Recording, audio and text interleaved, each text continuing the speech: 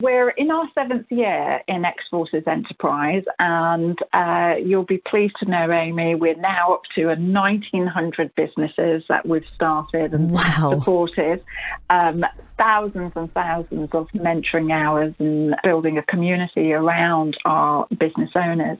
But also, and I think it's quite an important stat, especially with International Women's Day, is that 30% of our community, so something like just coming up to 600, are female led business owners. So I think that's quite a phenomenal amount. And that is made up of service leavers, female veterans and family members as well, which is really quite something to be proud of. That is 100% something to be proud of. That must make you feel so good because I believe that is actually above the national average when you're when you're looking at business owners.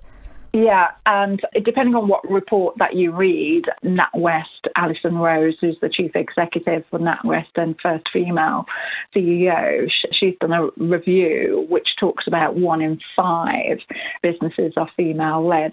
And here we are with stats that are much higher than that. So if you take that, it's about 20% on national average, we're up by 30%. So we're 30%, which is really, really great news. Your relationship with business. I know that sounds a bit simplistic to say, but it is extraordinary, and it's it's an incredible relationship that you've had. You understand how businesses work. Uh, you obviously see gaps in the market, and I mean so much so that you've been awarded an MBE for entrepreneurship, and the Queen's 90th birthday honours list. I mean, how did this all start for you? Where did your strong and keen interest in business start, Ren? That's a lovely question, actually, Amy. My background and culture, I'm British Indian.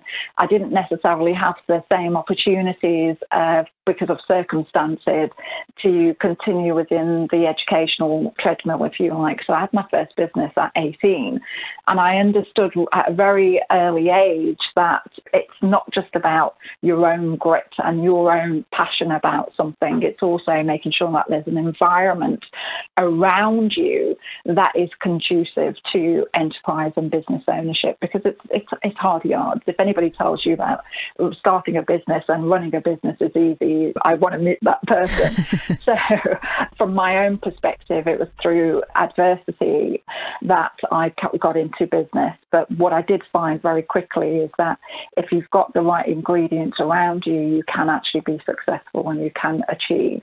And success is an interesting word in itself because to some people, success may be financial. To some people, it may well be having a, a career that works around their lifestyle, be that children, family, and well-being, really. And that's the raison d'etre for X Forces. We are about enterprise skills and what enterprise skills can actually provide an individual, be that self-employment or actually opting that self-employment may not be right at that moment in time.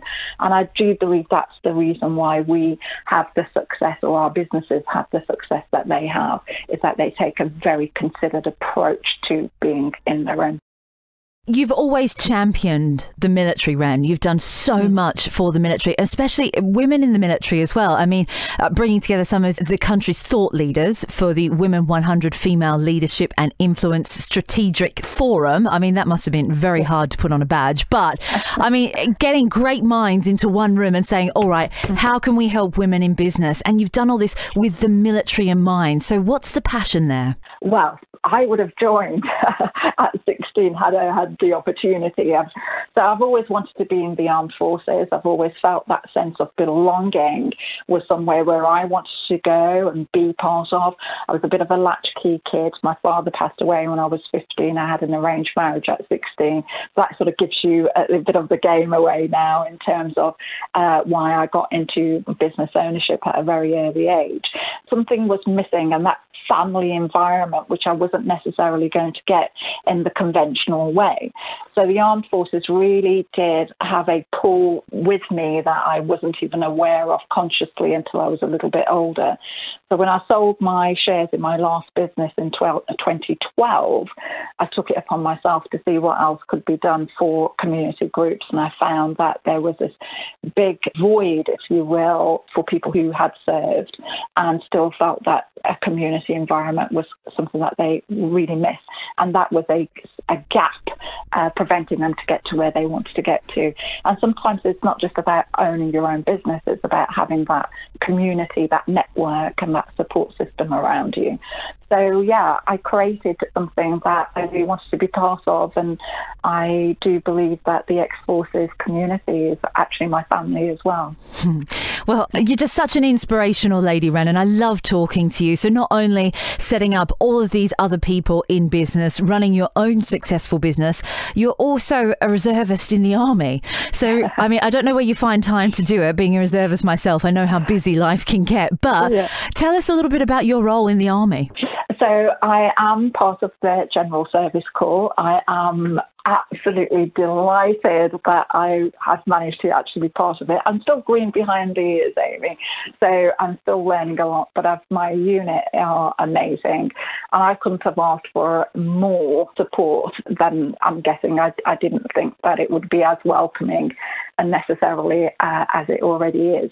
But the thing that I enjoy the most is really being able to provide some of my expertise, um, knowledge, and skills, particularly around empowerment, sense of purpose, and young people and where the economy is going. So that's the part that I bring to, to my unit. Well, they're very, very lucky to have you. You're an extraordinary lady, and it's a real pleasure to have you here at BFBS The Forces Station on International Women's Day.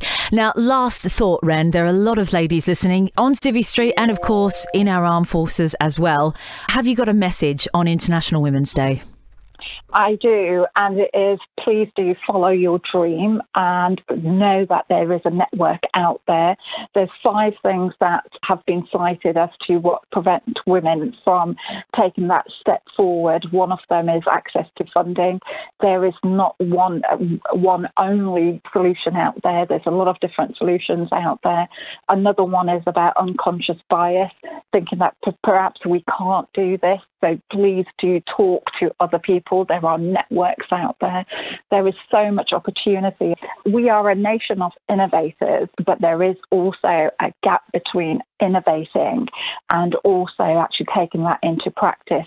But the support systems are out there. So my message to women who may be listening on International Women's Day is please do reach out not just for to X Forces Enterprise, but other networks similar to ourselves, because now's our time. We are incredibly lucky with the handrail of support that is out there.